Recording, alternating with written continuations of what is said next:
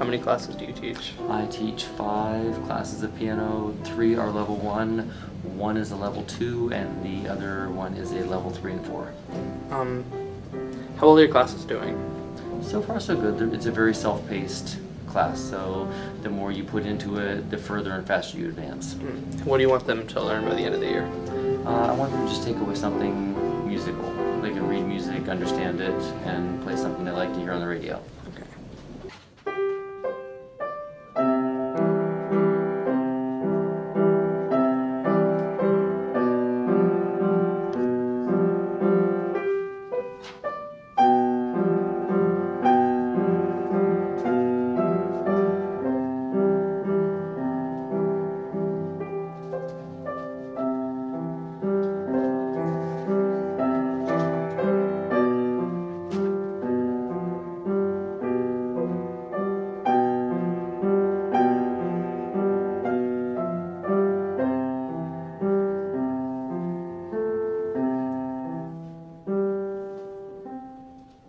Ele está.